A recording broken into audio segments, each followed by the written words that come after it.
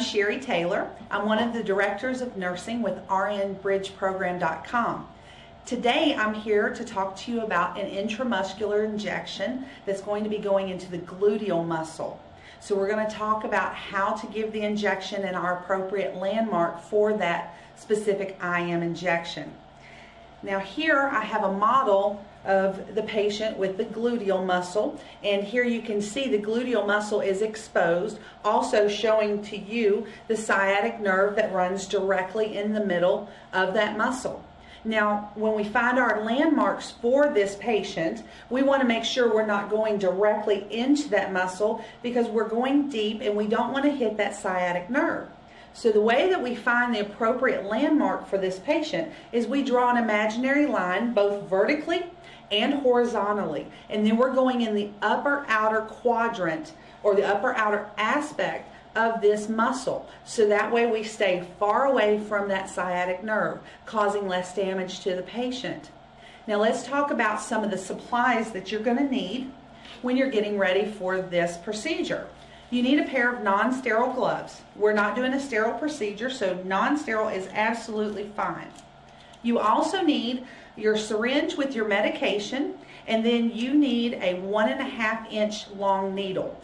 We do a one and a half inch so we get deep into that muscle because it is an intramuscular injection, so we don't want to actually get into the subcutaneous tissue. We need deep into the muscle, and the one and a half inch is the most appropriate for this site and then you need your alcohol swab.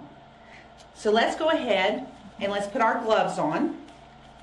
And again, when we're talking about asepsis, we're talking about covering our hands with gloves. We're talking about not having artificial nails such as what I have on. I'm the instructor today with no real patient. If you had a real patient, Nails are a no-no. Even real nails need to be trimmed into your fingertips. Your hands need to be washed prior to your procedure. And then we're going to put these clean gloves on. And then once we get the gloves on, we're going to take the alcohol because another part of asepsis is actually cleaning the site with alcohol. So now let's go down to our patient. Okay, so here we are back at the patient again. We're going to go into the gluteus maximus muscle. Draw your landmarks again, both vertically and horizontally, making a crisscross pattern on the muscle itself. And remember, we're going into the upper outer quadrant. Once you find your landmark, take your alcohol, put it on the site where your landmark is, and draw a circle from the inside out. We're going from clean to dirty then you want to take your needle with your medication. You want to make sure that you turn the bevel up. The bevel is where the hole is in the needle. It goes up towards the patient. You are going in at a 90 degree angle.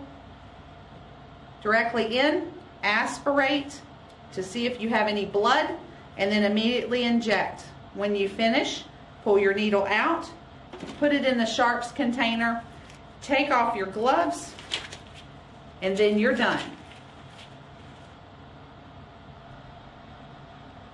Okay, so that's how you give an IM injection in the gluteal muscle. Now FYI, after you give the injection, depending on what type of medication you give, you may be able to massage that area. So make sure that you look in your drug guide to see what's appropriate as far as a massage and what is not. You can also cover the area with a band-aid in case it is oozing a little bit.